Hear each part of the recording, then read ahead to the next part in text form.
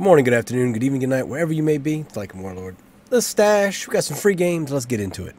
As you can see here, we've got our GX corner from Opera GX. We're going to scroll down. We got some free games.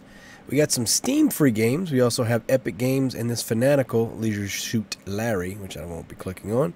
Steam and then the GX corner games, as well as our PlayStation Plus games of the month and our Xbox Game Pass. All right, so for the Steam games, I click on it. It's going to load up, and I'm going to click Add to Library. And just like that, it's added to our library. It's now it's ours now. We own it. Same thing with the next game. We're going to click Add to Library, and it's ours. Now, for our Epic Games games, instead of clicking that, we're actually just going to go to our Epic Games launcher, which you can see here. We're going to scroll down to Free Games, click Free Now, and as you can see here, we click Get and simply click Place Order. And now the game is ours. And that's it, everybody. That's how you get you some free games. I'm Lycan Warlord. A stash. I love you. Take care. Get some free games. Bye.